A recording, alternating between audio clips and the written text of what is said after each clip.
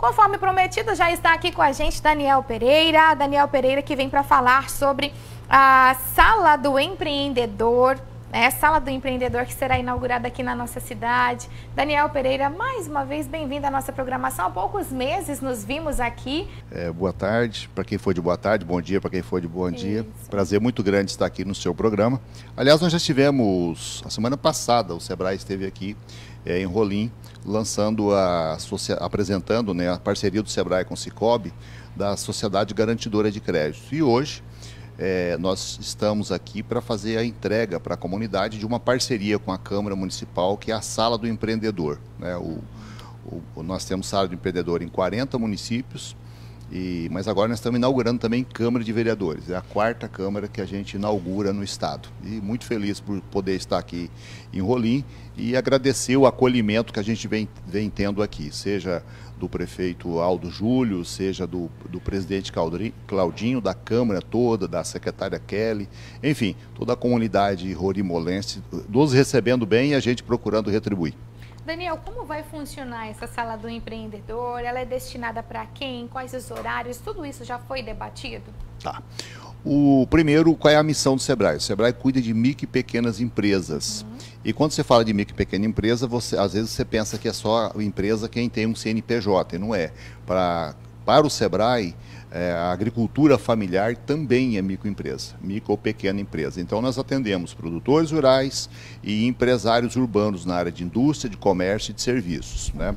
O horário de atendimento vai ser o horário é, da Câmara, uhum. né? o horário de atendimento da Câmara. Então, o que, que é a sala do empreendedor? É uma extensão do serviço do SEBRAE, só que a sala não é do SEBRAE, a sala é da Câmara, é a sala do empreendedor lá na Câmara. Então, a Câmara vai é, disponibilizar um espaço né, específico para essa finalidade, destina uma pessoa, né, um, funcionário da Câmara, e o SEBRAE capacita, treina essa pessoa para pegar todos os serviços do SEBRAE, é, tanto para a área rural quanto para a área urbana, e fazer é, o encaminhamento. Às vezes ele dá a solução diretamente, ou às vezes ele encaminha aonde essa pessoa pode encontrar a solução. E aqui o produto vem casado. Nós temos uma parceria com o Banco do Povo. Quando a gente instala a sala do empreendedor, a gente pega e traz o Banco do Povo também para trabalhar com microcrédito. Então são duas situações que a gente passa a ter aqui é, à disposição da comunidade aqui na Câmara Municipal. O que, que nós temos de inovador nisso? Porque Câmara de, é, do, a Sala do Empreendedor em prefeituras, o SEBRAE já tem mais ou menos uns 40 municípios, né? Pelo Brasil afora tem muitos. Agora, em Câmara de Vereadores, Rolim de Moura foi o primeiro município a instalar. Quero, inclusive, a, a, agradecer é, o presidente Claudinha, Câmara de Vereadores, parabenizá-los, porque embora seja a quarta que a gente vem formalmente é, inaugurar, mas a funcionária lá, funcionário, já está prestando serviço à comunidade, é a, é a primeira do estado de Rondônia. E quem é a primeira do estado de Rondônia é a primeira do Brasil também. Então, parabéns aí a Rolim de Moura pelo pioneirismo de ser a primeira, ter a primeira sala de empreendedor de Câmara Municipal do nosso país. E de quem foi a ideia de instalar ali na Câmara Municipal? Foi de um ex-vereador que hoje, que por coincidência também é ex-governador, que hoje é superintendente do SEBRAE. É mesmo? É. Por coincidência, o nome dele é Daniel Pereira. Daniel Pereira, pois é. E o Daniel Pereira Eu aprendi, escolheu... eu aprendi, Gislaine. na ver... E eu, Daniel. Daniel, e por que, que o senhor escolheu o Rolim de Moura? Fiquei curiosa. Não, na verdade, nós comunicamos todos os presidentes de Câmara no mesmo tempo. O Entendi. presidente Claudinho é o que teve a iniciativa hum. é, de... que Foi o que andou mais rápido. Deus dá oportunidade iguais para todo mundo. Alguns ficam no início da partida da corrida, outros ficam no meio e outros chegam no final. Uhum. E o Claudinho é o cara que chegou, resolveu chegar primeiro na final. Ah, né? que legal. Foi ele, ele abraçou a oportunidade. Agora, por exemplo, eu estava falando da Sociedade Garantidora de Crédito, que é uma outra ação que a gente está, tá, está trabalhando. Vou até te mandar alguns vídeos para você inteirar, daqui a pouco você pode até levar aqui para o público, né? uhum. né? Que é uma nova forma de você garantir crédito para as pessoas. E a Prefeitura de Rolim de Moura tem tudo para ser a primeira também. Por quê? Porque aqui eu tenho uma Câmara de Vereadores que precisa aprovar o projeto, eu tenho um prefeito que era presidente da Câmara e vereador. Né? E eu tenho uma comunidade precisando de crédito. O que, que significa isso? Se o prefeito, Júlio, mandar para a Câmara um projeto de lei uh, disponibilizando 100 mil reais, não é para gastar, é para colocar num fundo. Uhum. Se você colocar 100 mil reais lá, você cria de crédito um milhão de reais para micro e pequena empresa aqui de Rolim de Moura. Então, é um negócio fantástico, né? que é o, um outro presente que nós, eu, como superintendente do SEBRAE, a nossa equipe, juntamente com o Cicobi, estamos fazendo a entrega para os 52 municípios do estado de Rondônia. Que bom, esse também é um grande boom para a economia, hein?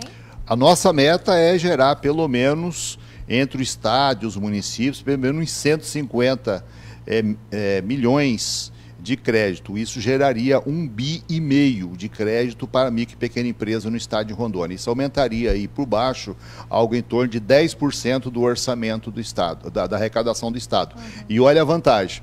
Quando você aumenta 10% da arrecadação do Estado, 25% disso, ou 2,5%, é dos municípios.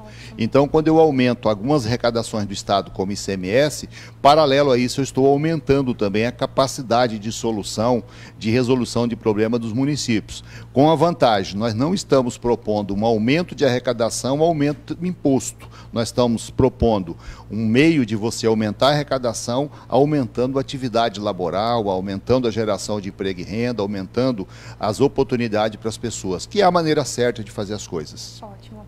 É, Daniel, o senhor disse que, enquanto vereador, criou o projeto é, no momento lá da execução, qual foi a linha de, de pensamento, raciocínio para que essa implantação acontecesse nas câmaras? É para aproximar mais as pessoas? Veja bem, quando, o, na verdade o, a, o, Daniel foi vereador há 30 anos atrás, né? E, mas o, o eu, eu, consigo enxergar os espaços das câmaras de vereadores até pela, pela intimidade que eu tenho, tenho relacionamento com, com todas as câmaras, tem várias agendas que a gente trabalha juntos. E quando eu vi essa questão da sala do empreendedor, nós precisamos de ter salas e o máximo possível. Né? O Sebrae tem atendimento presencial nosso em sete, sete, oito localidades. Aí eu tenho 40 salas do empreendedor. Porto Velho não tinha nenhuma, nós temos duas, estamos abrindo mais três, vai para cinco.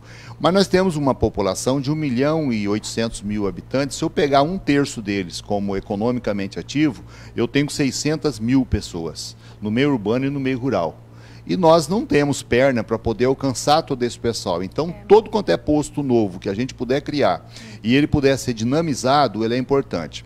E as câmaras de vereadores é, é, é a representação política, né? Uhum. Uma câmara de vereador é um representante da comunidade que recebe uma procuração para representar o povo todo, né? aprovando as leis, discutindo os projetos, fazendo encaminhamentos, dando sugestão. Então, por que, que a gente não aproxima esses vereadores, né? Sem aumentar despesa nenhuma para a sociedade, aproveitando as estruturas que a gente já tem, uma sala que está subutilizada, um funcionário que já está lá na Câmara e fazendo essa prestação de serviço. E com isso nós esperamos trazer os vereadores mais para perto do SEBRAE, para perto do Senar, para perto do Senai, para perto do Senac, né, que são, são, são, ah, são algumas das muitas alternativas aí dos S. E também não posso deixar de agradecer o prefeito Aldo Júlio e a Câmara de Vereadores, o vereador Claudinho e todos os vereadores. Vou saudar de uma forma especial a vereadora Juliana, porque é a única mulher que é vereadora aqui em Rolim, então merece essa menção especial, mas o abraço a todos os vereadores. O agradecimento porque eles fizeram a cessão de um terreno para o Sebrae. Quando eu vim aqui, eu vim tratar sobre isso. Então a prefeitura já fez, mandou o projeto para a Câmara, a Câmara aprovou e agora está saindo a escritura de sessão de uso para o SEBRAE. Assim que o SEBRAE tiver na emissão da posse, as nossas equipes do SEBRAE já começa o processo para a gente iniciar a construção da sede própria do SEBRAE aqui em Rolim, para atender Rolim de Moura e mais nove municípios que fazem parte do, da nossa agenda aqui, da nossa gerência regional de Rolim de Moura. Muito bom. É, Daniel, a gente consegue já antecipar aqui alguns dos assuntos que poderão ser levados pelos nossos empreendedores até a sala do empreendedor? O que, que pode ser debatido ali? Qualquer assunto que diga respeito a micro e pequena empresa pode ser levado para a sala do empreendedor, porque se eles tiverem alguma limitação no primeiro momento de dar solução para isso, nós já temos a gerência regional aqui e a gente mata isso de pronto aqui. Se for algo mais complexo, recorre à direção estadual. E se for mais complexo, complexo, a gente recorre a Brasília. Posso garantir que o SEBRAE, que é uma instituição que tem 50 anos atendendo micro e pequena empresa, não tem uma ação concreta de micro e pequena empresa, entendendo como micro e pequena empresa. É atividade industrial, atividade comercial, atividade do setor terciário, de negócio, prestação de serviço e também as atividades da, da agroindústria, da, das, das propriedades rurais. Então, todo mundo, homens e mulheres, serão muito bem-vindos no SEBRAE por enquanto na sala do empreendedor da Câmara, mas eu já conversei com o prefeito Aldo Júlio. Vamos ver se a gente faz um serviço completo aqui e abre uma sala do empreendedor também na, na prefeitura aqui de Rolim de Moura. Que aí, aí a gente já vai ter que buscar outras outros parceiros para abrir sala do empreendedor e trazer também é, Banco do Povo. No período que eu passei como vice-governador, depois governador, nós abrimos, por exemplo, sala, sala do, do Banco do Povo junto com a Emater. Você tem que criar todas as essas segmentos de prestação de serviços que a gente tem, criar uma grande rede de capilaridade para poder atender o máximo possível das pessoas. Então, né? vou deixar uma dica, se o senhor me permitir. Por favor. Acho Câmara e Prefeitura muito próximo, talvez a gente poderia expandir. Veja bem, a, a, isso realmente, geralmente você tem a Câmara e a Prefeitura próximo, mas é, o, é a oferta do espaço. Se tiver uma outra, uma outra solução para isso, quem sabe a própria Prefeitura pode abrir uma sala num local, pode abrir uma sala num distrito. Uhum. Né? Porto Velho, por exemplo, nós estamos propondo aos vereadores que a gente abra a sala do empreendedor lá em 15 distritos. Nossa, que legal sonhar grande e sonhar pequeno é a mesma coisa. Nós sonhamos grande porque alguma coisa sempre acontece. Né? Então a sua observação é pertinente. Mas se a gente fizer um bom trabalho de divulgação, vocês aqui, os, os próprios vereadores, a gente vai ter demanda com certeza para atender nos três locais. E o dia que nós não tivermos demanda a mais é que nós já resolvemos todos os problemas. Aí nós entramos no, no mundo da perfeição e eu acho que isso vai demorar muito tempo não ainda. Existe. Bom, fala um pouco da agenda do dia de hoje aqui na nossa cidade. Então, a nossa agenda principal hoje é essa de inaugurar a Sala do Empreendedor. Uhum. Né? Mas eu venho também com a missão de ir aqui nos municípios vizinhos de Santa Luzia e Alta Floresta. Amanhã eu vou estar lá nesses dois municípios. E hoje vou estar aqui, é, viemos também para checar como, como, que está a questão da regularização do terreno. Passei lá na prefeitura, deixar aqui um abraço à secretária Kelly, que está merecidamente está de férias, né? mas uma grande parceira que nos ajudou demais o Florentino, né, que é o assessor de imprensa lá da prefeitura, que não veio para cá porque está no trabalho, mas a figura muito querida. Da Câmara, né? Da Câmara, da Câmara, da Câmara. É, eu falei errado. Mas ele estava junto com o prefeito lá, que eu achei que ele era assessor de todo mundo. Né? Então faz um serviço maravilhoso. Né? Inclusive é uma pessoa que nos ajudou muito a dialogar com a Câmara, dialogar com a prefeitura para conseguir esse terreno. É, a gente não pode homenagear pessoas vivas, viu, Florentino? Mas qualquer coisa a gente colocaria o seu nome, mas não pode, você está vivo. Né? E eu tenho certeza que você não quer ser homenageado no, no prédio. Agora não, né, Flora? Nossa, aí ninguém aguenta Florentina, não, Mário? Já pensou? Brincadeira. Nome de prédio. Já pensou aí, ninguém aguenta. É brincadeira.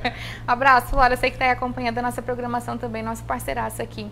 Muito bom. Então, a agenda bastante completa. Inclusive, já me disseram que o tempo hoje está apertadíssimo, porque saindo daqui o senhor já tem compromisso na Câmara Municipal. Volto para lá é? para fazer o encerramento da, da é placa lá e entregar a sala. Na verdade, a sala já foi inaugurada, ela já está prestando serviço. Uhum. A gente só veio formalmente fazer o registro. Muito e até uma forma da gente manter contato é agradecer a Câmara de Vereadores pela iniciativa pioneira. É a primeira aberta em Rondônia e é a primeira aberta no Brasil. Tem que registrar isso aqui daqui 100 anos, quando o Claudinho estiver já bem velhinho, ele vai falar: Poxa, eu inaugurei a primeira sala do empreendedor. A primeira pessoa que foi atendido na sala do empreendedor no Brasil foi na cidade de Rolim de Moura. Isso é um negócio muito importante. Vamos ouvir falar mais vezes, com certeza, em outros municípios, porque aqui vai ser exemplo, tenho certeza disso. Rolim é um exemplo para tudo na, nesse estado de Rondônia. Muito bom.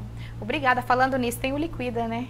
Liquida, que é uma outra parceria fantástica também nossa do Sebrae, com a Prefeitura, com a Associação Comercial. É show de bola. espero que a comunidade aproveite bem. Né? O Sebrae expandiu muito. Antigamente a gente fazia atividades praticamente só em Porto Velho. O ano passado nós fizemos em 18 municípios. Nesse ano nós vamos fazer em 20. Em 20, em 20 e espero que o Sebrae continue expandindo e multiplicando, né? porque através de um programa chamado Cidade Empreendedora, nós somos o único Sebrae do Brasil que chega em, em 100% dos municípios. Nós nos conectamos com os 52. Então a gente tem qualquer um tipo de agenda específica, a gente tem com qualquer um dos municípios chegando nos 52. É o único Sebrae do Brasil que conseguiu fazer isso. Muito bom. Eu é, toquei no assunto do Liquida porque nós acompanhamos também a inauguração, é, na verdade o lançamento, né, em Nova Isso. Brasilante, porque esse é o primeiro ano do Liquida Rondônia. Né? Isso. Né? Então tínhamos Liquida Rolim e aí foi um exemplo também. O ano passado foi feito. Para é. né, os outros, então é isso aí, vai ser um sucesso. Com certeza. Daniel, muito obrigada pela sua passagem aqui mais uma vez. Sempre que o senhor aparece para falar de coisas boas, para trazer novidades para a nossa cidade, então é um prazer te receber aqui todas as o vezes. O prefeito Aldo Júlio disse que eu sou um portador de boas novas. Toda vez que eu vinha a Rolim, a gente sempre trouxe alguma coisa nova. Sempre, sempre, sempre. Esperamos. Né? E eu espero poder voltar nos próximos dias para fazer o lançamento né, da, do local onde a gente vai construir o prédio. Acho que, se Deus quiser, daqui um ano e meio, mais tardar a direção, a então direção do Sebrae vai fazer a entrega, mas enquanto não tem um prédio novo, nós estamos é, prontos para atender a nossa população. Aproveitar a oportunidade, desejar uma feliz semana para todo mundo e principalmente esse domingo, que é o domingo de Páscoa, que todos, todos os rolimorenses, todos os rondonienses, brasileiros, todo mundo do mundo, nesse cenário triste de guerra que a gente está tendo lá na Ucrânia e na Rússia, que Deus nos dê um, uma feliz Páscoa e que a gente possa, cada um de nós, doar o melhor que nós temos para o semelhante e assim, consequentemente, fazendo o mundo melhor. Feliz Páscoa aí a todos e todas.